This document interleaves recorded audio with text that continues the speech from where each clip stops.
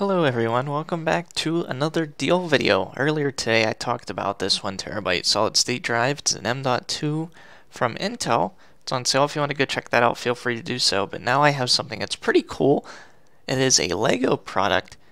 And if you like this kind of content, don't forget to hit subscribe and let's go check it out. Alright guys, this is it. This is the LEGO Ideas International Space Station kit.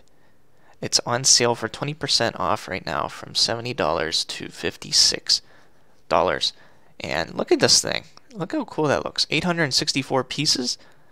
And this is definitely a cool project that you could work on, you know, if you're stuck in a house right now, which some of us definitely are.